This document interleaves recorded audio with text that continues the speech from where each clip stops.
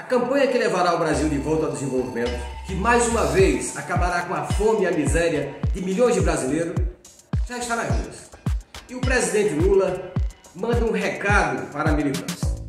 Os partidos da chamada nova política, que somente disseminam ódio e entregam o patrimônio da nação a preço de banana, reforçarão neste período eleitoral as fake news e as manifestações golpistas em todo o Brasil.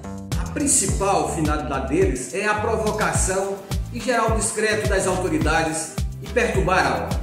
E no sentido de combater a mentira e o ódio, o presidente Lula nos manda um recado. Diz Lula: vocês que são brasileiros do bem, façam o seguinte: não fiquem os eventos deles e nem repasse o que receberam. Sejam memes, brincadeiras, crítica ou mesmo elogios. Não postem nada sobre o antepresidente, aquele que não trabalha e não se preocupa com o povo brasileiro. Vamos falar e fazer compartilhamento somente de quem defende os interesses da maioria e vai voltar a tratar as pessoas com respeito e dignidade.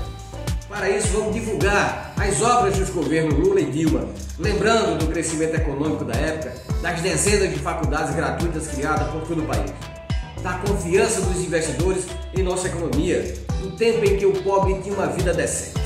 Enfim, vamos lembrar o povo e principalmente aos mais jovens o que foi o Brasil nos tempos de Lula e de Dilma. Para isso, lembra o presidente Lula, é preciso quebrar a rede de difusão do mal. Não discutam, não dêem importância às suas mensagens nas redes sociais, nem façam comentário em suas postagens.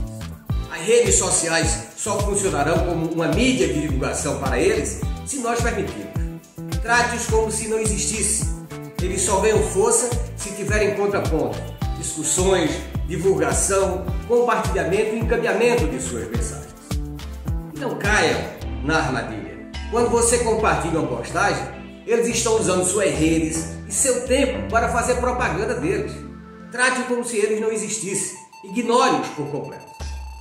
Nós sabemos que para eles, Deus, o país, a família, os valores morais e cristãos são coisas sem nenhum sentido, que eles só usam para explorar as pessoas de boa fé. Por isso, ignore-os, eles cairão por si mesmos.